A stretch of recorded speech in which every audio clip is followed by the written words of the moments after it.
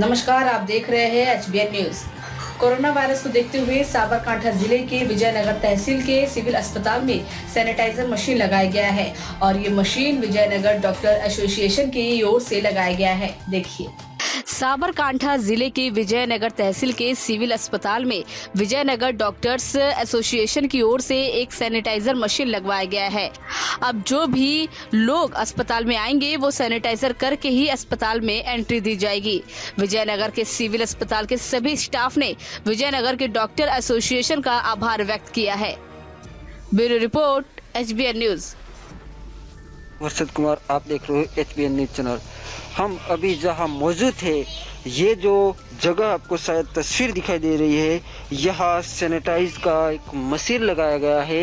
ये सिविल अस्पताल विजयनगर की तस्वीर है। शायद हम आपको बताएँगे कि ये सैनिटाइज मशीन किस तरह से ऑपरेट कर रहा है, वो हम शायद आपको आगे दिखाने की कोशिश करेंगे। कैमरा मैन को गुजारिश करूँ, यहाँ शायद सेंसर लगा हुआ है। जैसे ही अंदर आते ही ये सेंसर ऑटोमेटिक अपडेट हो जाता है और ये सैनिटाइज पूरी तरह से कर लिया जाता है। वो शायद आपको कैमरामैन को गुजारिश करूँ कि पूरी तरह से ये बताए। यहाँ जो आपको दिखाई दे रहा है, यहाँ से सैनिटाइज होता है। ये सेंसर है शायद। ये सेंसर जैसे अंदर एंट्री होती है, ये ऑटोमेटिक चालू हो जाता है।